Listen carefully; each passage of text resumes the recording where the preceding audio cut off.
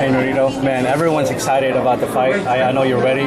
Uh, are you uh, the type of person that predicts your? Uh... I never predict my fight. The only prediction I made was the Montiel fight because I felt like I know how he was to fight, but I don't usually make predictions, uh, so I'm just gonna try to.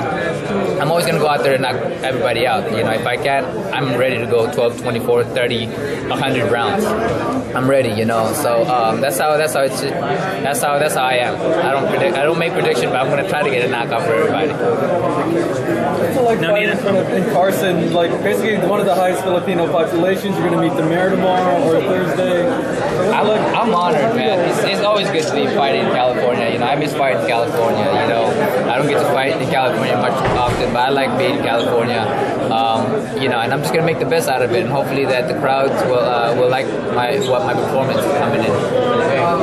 Nonito, um, you, I mean, you're coming off such great performances, and there are guys who are calling you out. Out of all the possible people that await you, wouldn't you want to say, you know what,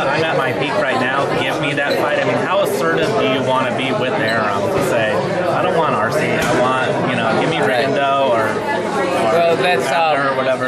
you know, we're, we're, strong. We're strong believer in fighting the best out there, um, and we do tell them, you know. But sometimes it, it takes more than just Arum or, or HBO. You know, there's a lot of there's a lot of a lot of negotiation process that goes. You know, it's just one aspect that Arum is.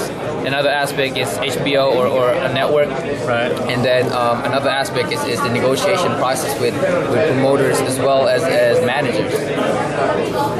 Did you ever imagine the boxing will take you here when you started boxing way back at Gooson's gym? Hell no.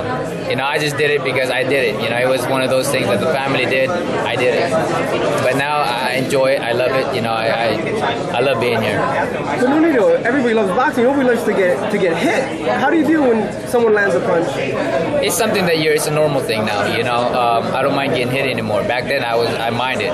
You know, but now I've become a full-fledged fighter, full-fledged warrior. That I don't don't mind bleeding a little bit. I don't mind hurting a little bit. You know, I'm there. But when you do get hit, it's just the norm. Unless it's hard, you're like, oh shit.